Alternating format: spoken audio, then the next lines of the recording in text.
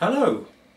Uh, there is a requirement uh, when you're taking the intermediate uh, amateur license to do a practical assessment and uh, at Cornwall Radio Amateur Club uh, we are uh, have come up with a TRF receiver. this meets the schedule, the schedule for a suitable product to do. it is a simple TRF receiver and it has a slight twist to it that uh, we use a charging circuit. That's why it's called a harvester. So we can uh, harvest incoming radio waves to charge a battery. So I'd like to just show you uh, in detail uh, a finished board uh, and I'll go through the various component parts for, for you. So here we have a completed board we have a BNC connector here uh, for an incoming radio waves. Now you could connect this to one of your spare aerials or even uh, perhaps a little telescopic aerial like that. So we have incoming radio waves coming into a little full wave rectifier here to change the signals to DC and then the DC goes through and charges a rechargeable battery. Or it could be perhaps a supercapacitor, something perhaps for you to experiment with a little later. We have various switches here now. We have a charge and test switch.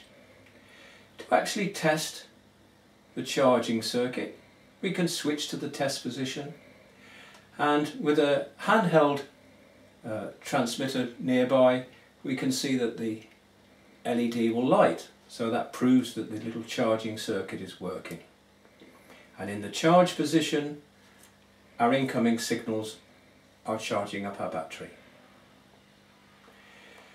We can then harness this power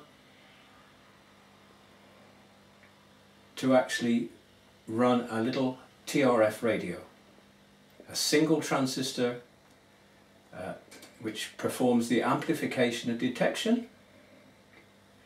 We have two waveband switch here which we can switch in to select an inductor and you should be able to get a lot of local AM radio stations.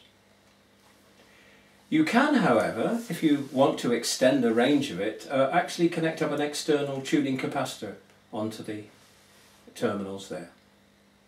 So Depending on your location, you may require a, an earth connection and an aerial connection. And you will be using uh, simple, cheap uh, earphones. Now, I've connected up for this experiment, we've connected it up to an amplifier.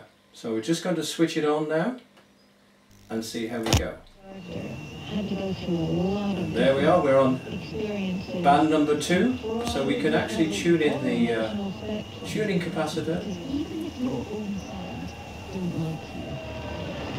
to peak our signal. I think we've got a local local Radio Cornwall station there. Um, we switch it over to the other band. And I think we've got AM Radio 4 there.